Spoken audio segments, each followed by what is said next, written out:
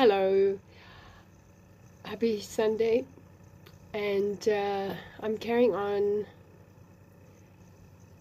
with The Artist's Way, that's written by Julia Cameron, and um, I can't remember everything that was previously, but I do remember making several other videos, posting some, then deleting them, and then making others and not posting them.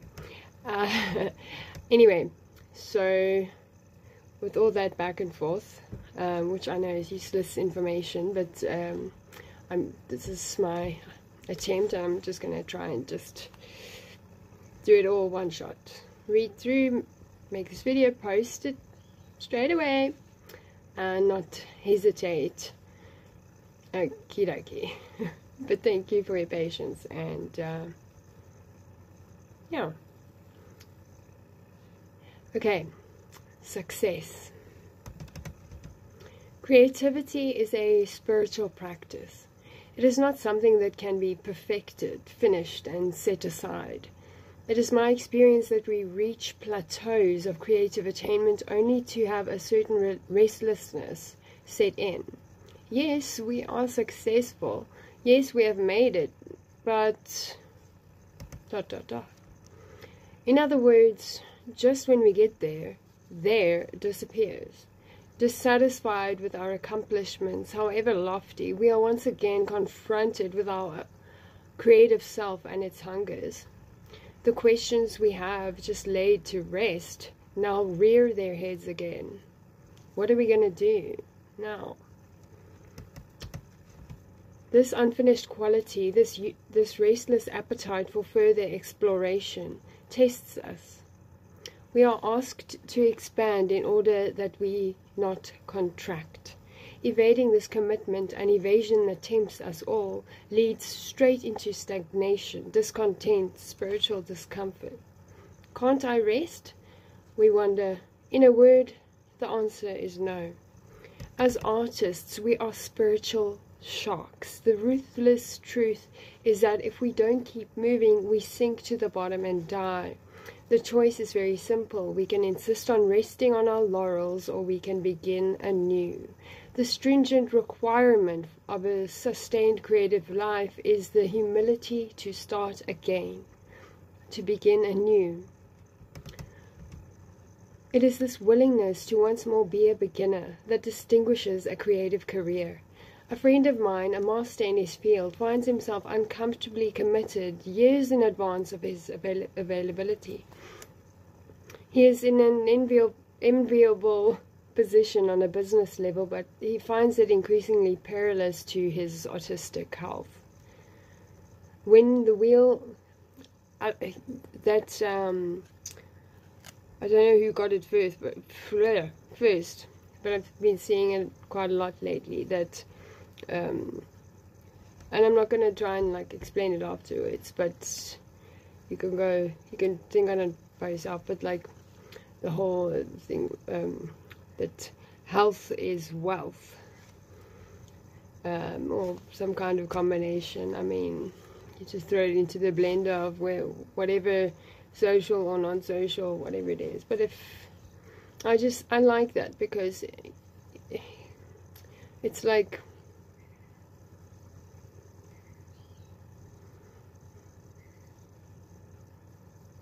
Okay. I, I know I just went a little bit away, but I was just thinking, I was trying to figure out how long it would take me to go off on a tangent, and now I'm deciding not to. But anyway, it's like health as in, okay, perhaps making the better um, choices for yourselves that can help you live in a better quality or it can help you feel better and that your mind work your mind works better that you can uh, be more present in life and uh, you can perhaps see life in the ways that are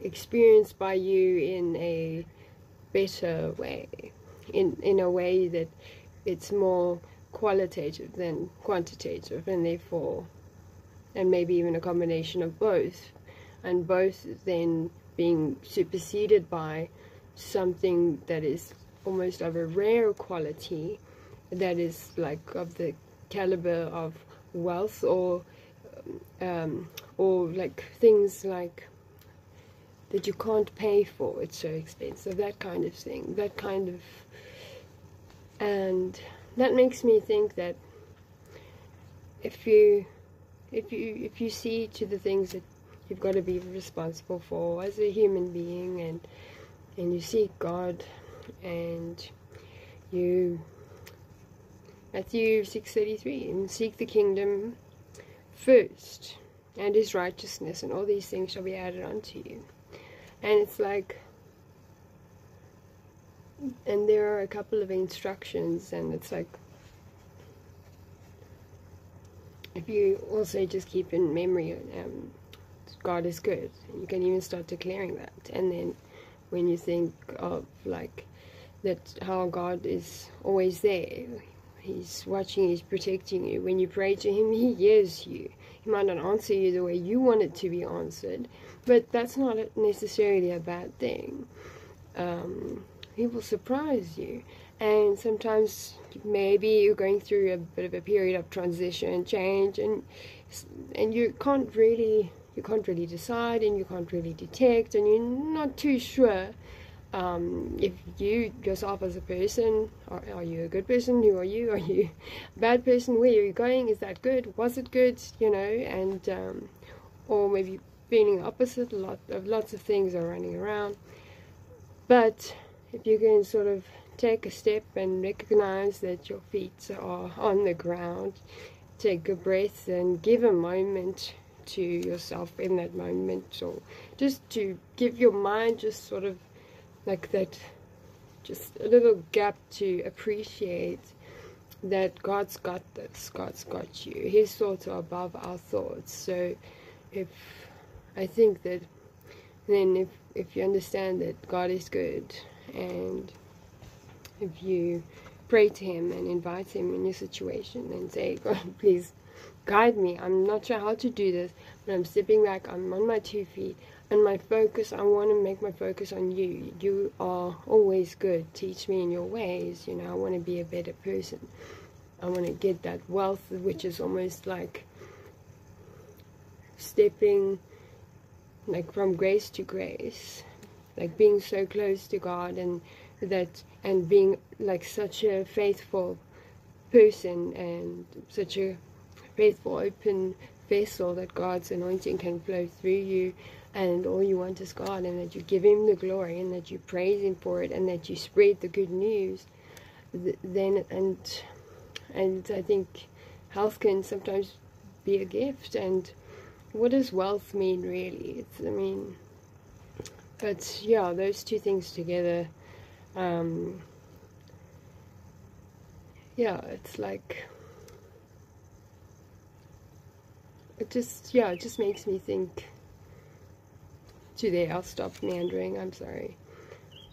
What, I, I'm sorry if I annoyed you, but I'm not sorry for saying a couple of things that I do believe in, and maybe that was helpful to you. Um, and I suppose I should just mention that this whole thing, a portion of it, is me practicing, me processing, and uh, yeah, so okay. The stringent requirement of a sustained creative life is the humility to start again to begin anew. It is the sorry. is it is the willingness to once more be a beginner that distinguishes the creative career. A friend of mine, sorry, a master of his field, finds himself uncomfortably committed years in advance of his avail availability. He is, he is in an enviable position on a business level, but he finds it increasingly perilous to his artistic health. When the wheel turns and the project committed to three years ago must be executed, can he do it with imagination and his initial enthusiasm? The honest answer is often an uncomfortable no, and so at a great financial cost, he has begun cutting back his future commitments, investing in the riskier but more rewarding gain of artistic integrity. Lekker. A quote by Edward Hopper No amount of skillful invention can replace the essential element of imagination. Mm. Yep. Imagination, explore. Those two words, I like those. Faithfulness, probably another word for 2024. Um, supernatural, maybe as well. Okay. Not all of us always can can muster such creative courage in the face of physical temptation, but we can try. Amen for that. We can at least be willing as artists, we are travelers, too heavily encumbered by our worldly dignity, too invested in our stations and positions. We are unable to yield our spiritual leadings. We insist on a straight and narrow when the artist ways a spiral path. Invested in our outer tappings of a career, we can place that investment above our inner guidance. Deciding to play by the numbers, we lose our commitment to counting ourselves and our goals, our own goals, worthy. Creativity is not a business, although it may generate. Let's rewind. Creativity is not a business, although it may generate much business. An artist cannot re replicate a prior success indefinitely. Those who attempt to work too long with formula, even their own formula, eventually leech themselves of their creative truths. Embedded as we often are in the business milieu of our art, it is tempting to guarantee what we cannot deliver. Good work that duplicates the good work that has gone before. Hey, that sounds like the beginning of misery. Why do I say that? Well, maybe it's linked to something that I've experienced before, so I could very much probably possibly be wrong. okay. Um, successful movies generate a business demand for sequels. Successful books generate a demand for further similar books. Painters pass through popular periods in their work and may be urged to linger there. For potters, composers, choreographers, the problem is the same.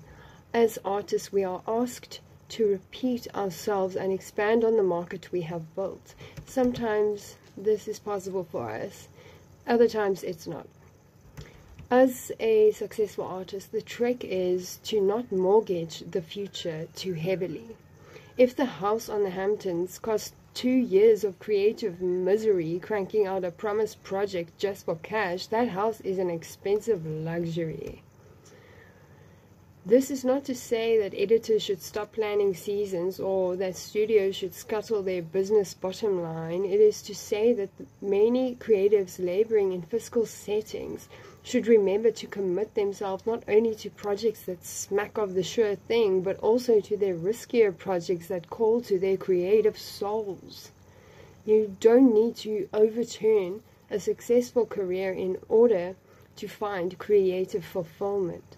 It is necessary to overturn each day's schedule slightly to allow for those small adjustments in daily trajectory that over the long haul alter the course and the satisfactions of our careers.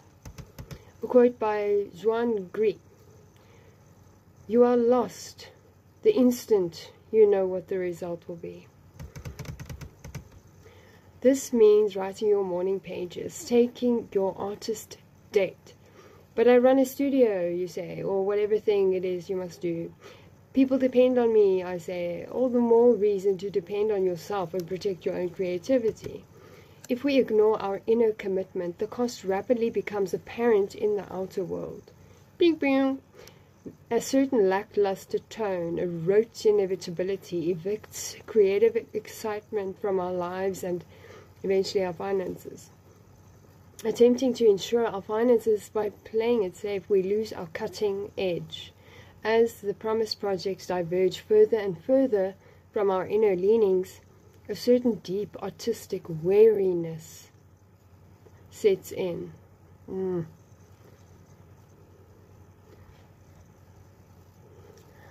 We must summon our enthusiasm at gunpoint instead of reveling in each day's creative task. Yeah, I mean, that makes sense. Artists can and do responsibly meet the demands of their business partnerships. What is more difficult and more critical is for us as artists to continue to meet the inner demand of our own artistic growth. In short, as success comes to us, we must be vigilant.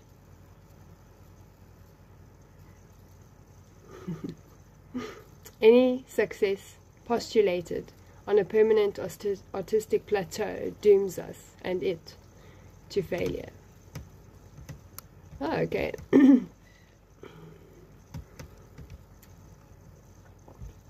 okay, so that was success, and I think um, I think I'll carry on reading. But cheers. Um, hmm. Okay, the next section. The Zen of sports. I really like that. Okay. Most blocked creatives are cerebral beings. We think of all the things we want to do but can't.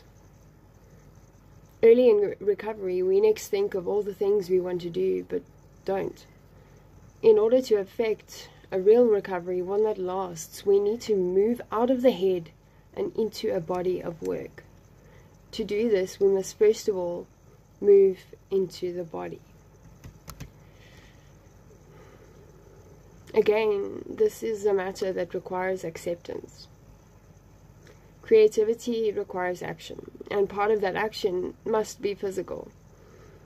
It is one of the pitfalls of Westerners adopting Eastern meditation techniques to bliss out and render ourselves high but dysfunctional. We lose our grounding and, with that, our capacity to act in the world. In the pursuit of higher consciousness, we render ourselves unconscious in a new way. Exercise combats this spiritually induced dysfunction. Shout out to John Vervaeke. Um, okay. From Roger Bannister on Breaking the Four Minute Mile. Quote No longer conscious of my movement, I discovered a new unity with nature. I had found a new source of power and beauty a source I never dreamt existed. Oh, man. Getting into just, oof. you're running, and you're, you're, you're like tapped in, you just like, you get in sync, in rhythm, in whatever the case may be with God, like that God flow. Hmm? That consciousness stream, tap in just a little bit. Um, oh man, when you you push past it, you like in the zone, but you but then you're a little bit more, and it's like something else. This quote is so good. I mean, it's beautiful. It really is beautiful. I mean, if you think of being being at unity with something that is way bigger than you, and ultimately beautiful, creative, for example, nature. So, no longer conscious of my movement, I discovered a new unity with nature. I had found a new source of power and beauty, a source I never dreamt existed. So, uh, so Roger Bannister on the on breaking the four minute mile. So, um, you can go look up the four minute mile. Um, and then you can just type in Roger Bannister, um, or either or, but um, read up on that. Uh, but uh, he's a runner, so um, the movement he's he's talking about there is is running, and uh, yeah.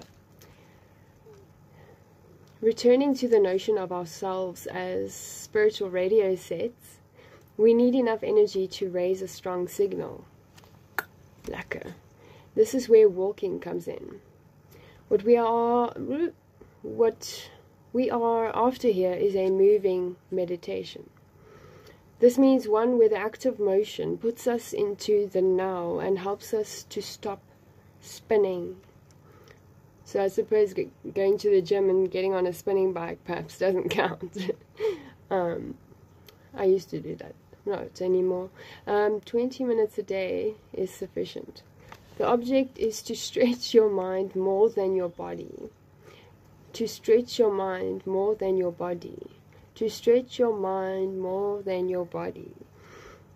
So there doesn't need to be an emphasis on fitness, although eventual fitness is likely is a likely result. It's a perk. The and helps with the health of your.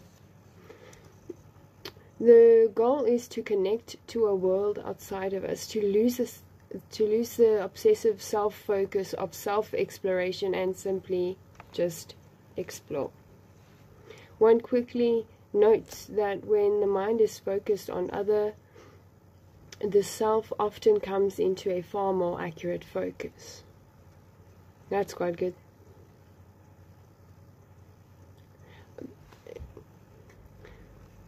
That's that's very good.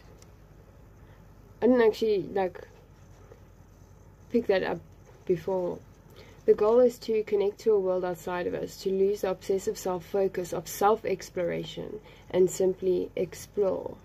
Right, okay, okay. One quickly notes that when the mind is focused on other, the self often comes into a far more accurate focus. Oh, okay. Wow, ooh, that's interesting. Yes, yes. This is very much okay. Ooh, I like that. I like it. Why? Because, I mean, this, I mean, if you want to learn more about that, I really do uh, recommend uh, checking out um, John Vervaeke.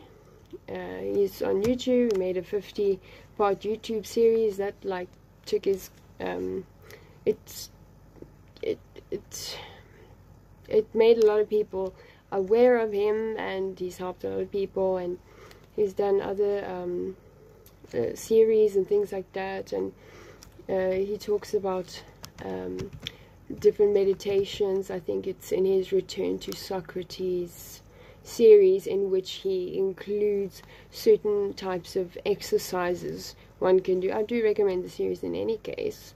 Um, do start with the 50 part one. Uh, you know, it's, it's just over 50 hours, but like. It, it really is worth it. And you can you can do it within two weeks. You can do it stretched out further than that you know. Um, but it is worth it. It is really really worth it. Um, and then you can carry on through the rest of his work. Really really great. There's also the John Vervaeke Foundation that you can get a part of. And they do different things as well. So you anyway just go that route. If you want to learn um, about like more about you know certain meditations uh, um, and techniques like that um, and about philosophy just really just go check that out. Okay.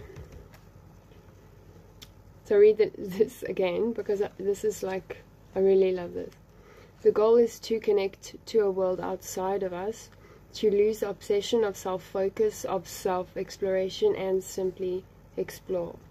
One quickly notes that when the mind is focused on other, the self often comes into a far more accurate focus.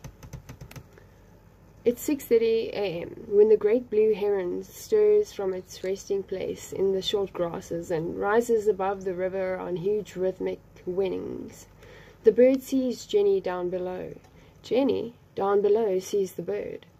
The pumping of her legs carries her in an effortless floating stride. Her spirit soars up to the heron and chirps, Hello, good morning. Lovely, isn't it? At this time, in this place, they are kindred spirits. Both are wild and free and happy in their motion, in the movement of the winds, the clouds, the trees. Oh, it is 4.30 p.m. when Jenny's boss looms into the doorway of her office. The new account is being picky and wants still more changes in her copy. Can she handle that? Yes, Jenny says. She can because she is still soaring on the glad energy of her morning's run. That heron, the steely blue of its flashing silver as it made that banking turn. Jenny would not call herself an athlete. She does not run in marathons. She does not run in cheery singles groups. Although her distances have gradually increased and her thighs have gradually decreased, she does not run for fitness. Jenny runs for her soul, not her body. It is the fitness of her spirit that sets the tone of her days, changes their timbre from strained to effortless. I run for perspective, says Jenny. When the client picks at her copy, Jenny detaches and soars above her frustration like the great blue heron. It is not that she doesn't care. It is that she has a new perspective, a bird's eye view on the place of her tribulations in the universe.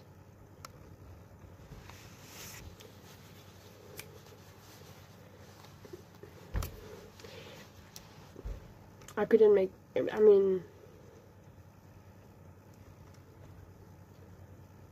boom, that's like, sure.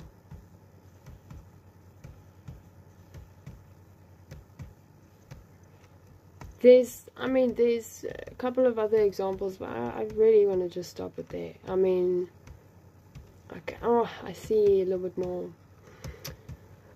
Okay, maybe I should, maybe I should just, just carry on. But that's, I just, yeah, it's, that's beautiful. Okay, a quote by, or from the Buddha. To keep the body in good health is a duty. Otherwise, we shall not be able to keep our mind in, strong and clear. Not the best one, but anyway. Eve Babitz is a novelist and a swimmer tall, blonde, and as generously curved as the freeway cloverleaf of her native Los Angeles, Babitz swims in order to direct the traffic flow of her own overcrowded mind. Swimming, she says, is a wonderful sport for a writer. Every day she swims the aqu aquamarine oblong of her neighborhood pool. Her mind dives deep into itself, past the weeds and clutter of everyday concerns. What editor is late with it? With a check, why the typist persists in making so many errors, and down to a quiet green pool of inspiration. That rhythmic, repetitive, repetitive action transfers the locus of the brain's energies from the logic to the artist hemisphere. It is there that inspiration bubbles up untrammeled by the constraints of logic. Shout out uh, Dr. Iain McGilchrist. Go, please go check out his work. Uh, he's even had uh, conversations with Dr. John Vervaeke. So there you go. Link, link, link. um, uh, it's great. Uh, like Iain, uh, he's written. okay, if I start talking about Iain McGilchrist, I mean, I'll carry on going. But um, really, like, especially for imagination and um, uh, it's just anyway um go check him out. It's i-a-i-n and then mcgilchrist mc um, g mc uh, mc g i l christ. Um, also uh, they all all they have had a conversation with Karen on the meaning code. So there you got like three for three for one. Um, and so definitely please like give yourself like just the most amazing gift and go you can go now to type in the meaning code and subscribe and start anyway. Um, I really would appreciate that. Okay, let's go. Sorry. Martha is a carpenter and a long distance bicyclist. Carpentry challenges her daily to find innovative solutions to construction problems, to untangle the intricacies of a complicated design situation requiring a simple answer to a complicated question. How can I build in workspace without using floor space when I'm done working? Or is there some kind of cabinet that could fit in this corner and around on this wall without seeming too modern for my furniture? Pedaling from her home in the suburbs to her job in the city, Martha encounters her answers to these questions in much the same way that the red winged blackbird will suddenly take flight and cross her line of vision. Martha will be pedaling when louvered doors will flash as a design solution. Pumping her bicycle rhythmically and repetitively, Martha also pumps the, oh, pumps the well of her creativity. It is my time to let my imagination roam and work out problems, Martha says. Solutions just come. Somehow, I am freed to free associate and things begin to fall into place. The things that begin to fall into place are not merely work associated. When she cycles, Martha has a sense not only of her own motion, but also of the motion of God through the universe. Amen. God is good. She remembers riding alone on Route 22 in upstate New York.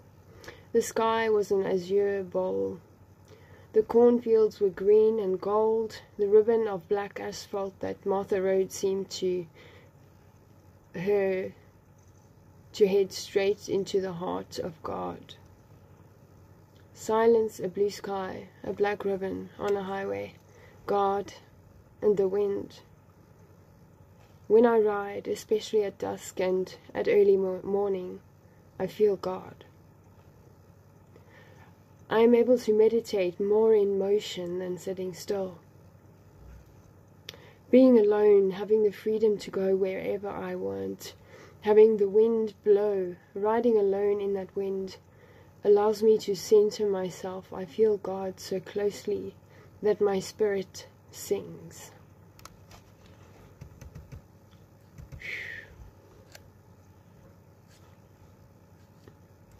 Sure, that's beautiful. Um, here's a quote by Saraha. I'm not sure who that is.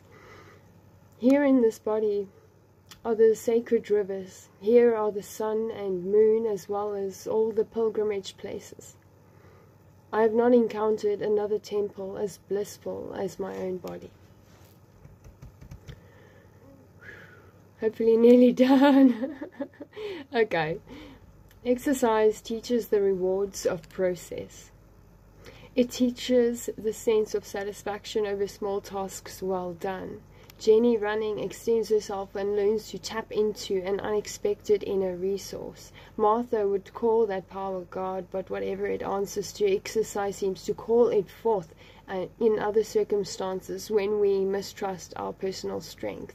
Rather than scotch a creative project when it frustrates us, we learn to move through the difficulty. Life is a series of hurdles, says Libby, a painter whose sport is horseback riding. I used to see it as a series of obstacles or roadblocks. Now they are hurdles and challenges. How well am I taking them? In the daily schooling of her horse, teaching her to think before she jumps, to pace herself properly, Libby has learned the same skills for her own life. Part of this learned creative patience has to do with connecting to a sense of universal creativity. Writing, my rational mind switches off, she says. I am reduced to feeling, to being a participant. When you ride through a field of grass and the little flecks of fluff from the wheat ears float around you, the feeling makes your heart sing. When a rooster tail of snow sparkles in the sun in your wake, that makes your heart sing. These moments of intense feeling have taught me to be aware of other moments in my life as they occur. When I feel that singing a feeling with a man and know that I have also felt it in the field of grass and a field of snow, then I know that is really my own capacity to feel that I am celebrating. Praise the Lord, these holy inspired people. My goodness, wow. Sure.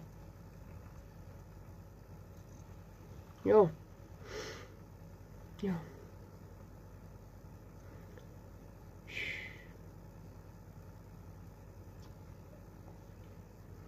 It is not only the, the sense of a communion with nature that creates a singing in the heart. Um, I want to, you, okay. God give me strength. I can do all things through Christ who strengthens me. uh, I'm gonna hopefully can just get through this. Um, finish up. Okay.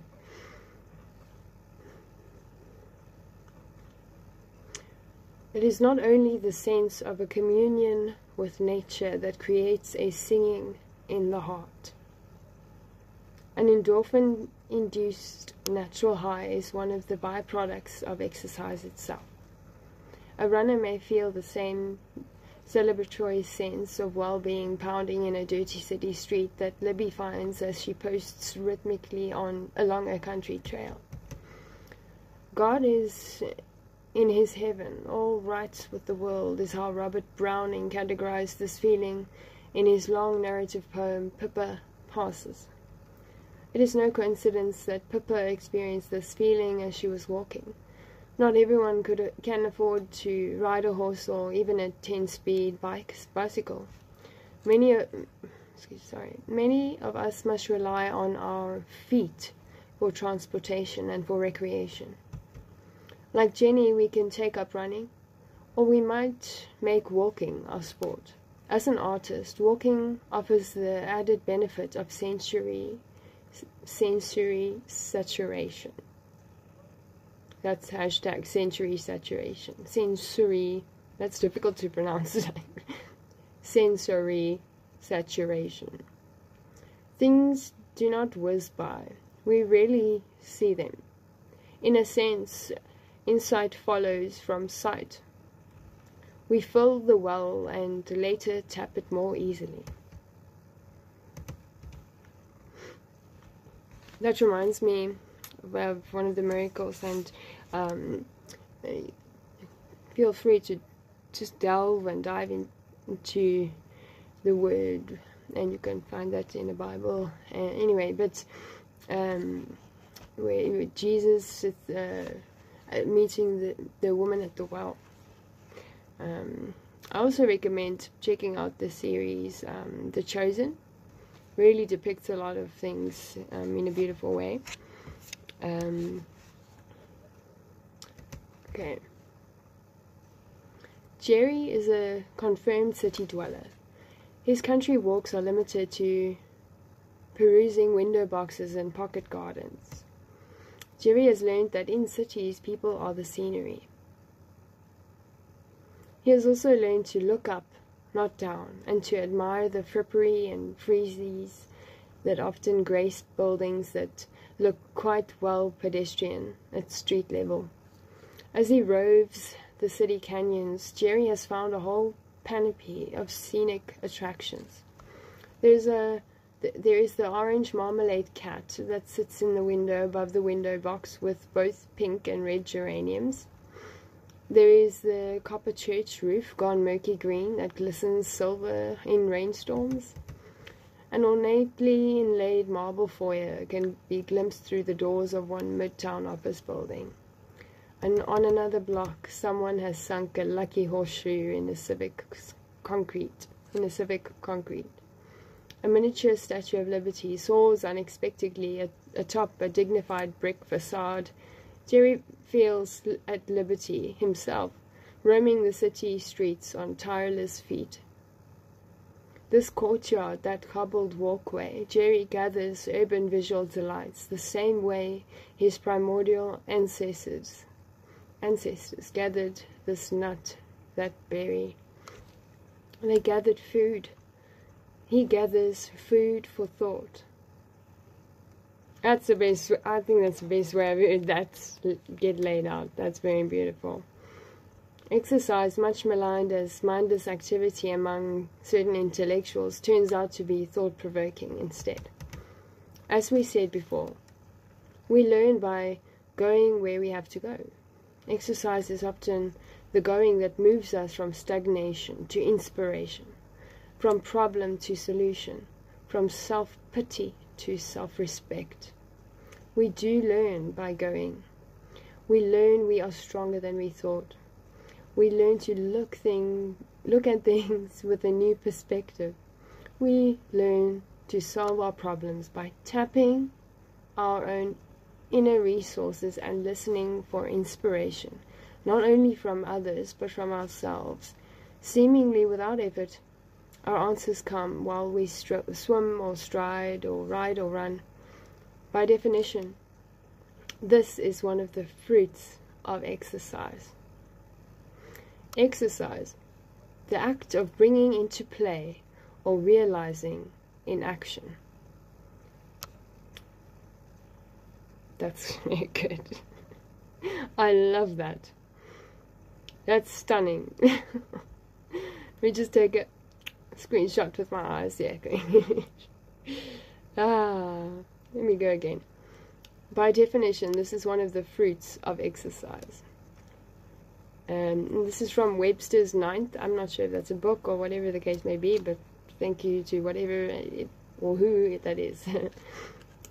this for this quote, you know. Exercise, the act of bringing into play or realizing in action. Cha-ching! And I think we're ending off here. Uh, quote by Theodore Roethke God bless the roots.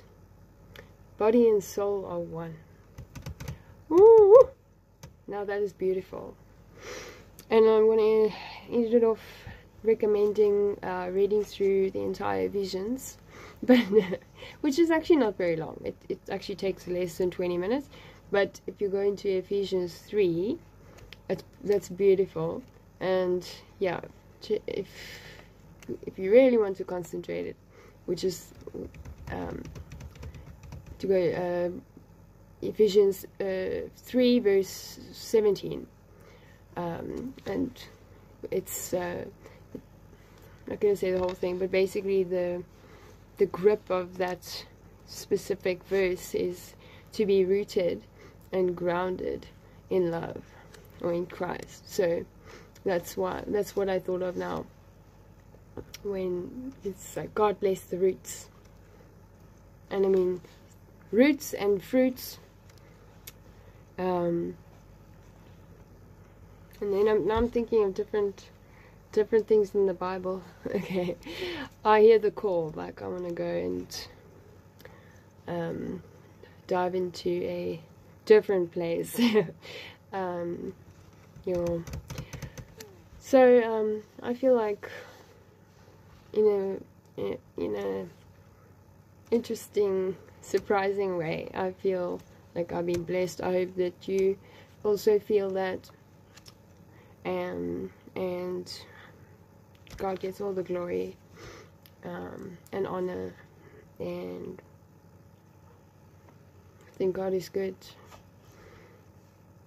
Thank you for being here. Thank you for breathing. Thank you for choosing to stick around.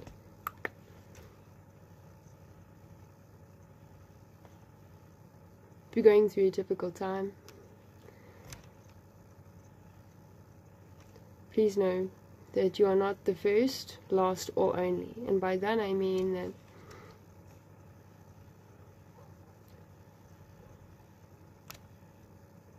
you can pray, but you can also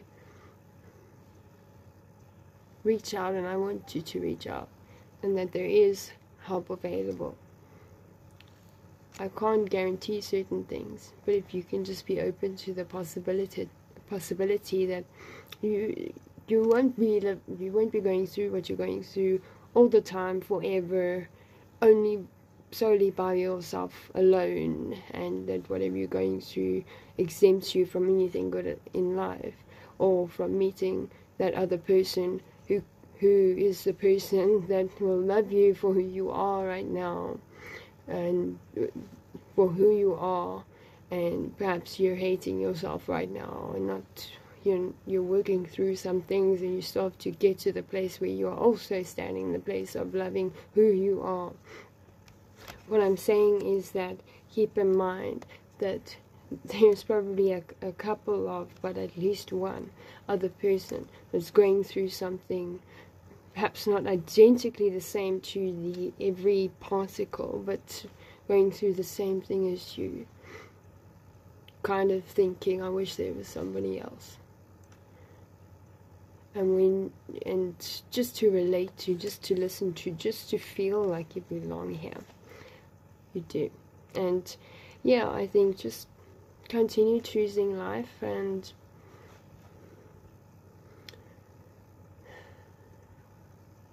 keep on keeping on. And giving up is not an op option.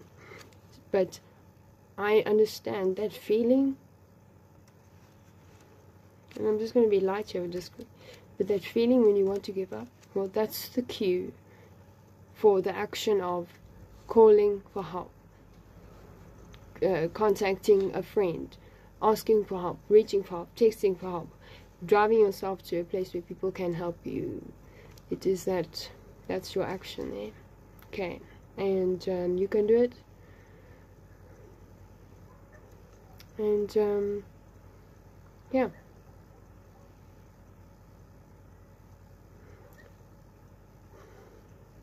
What can I say? Tomorrow is Monday.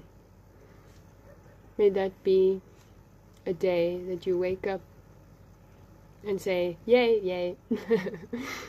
Another day, perhaps there's also joy in it today.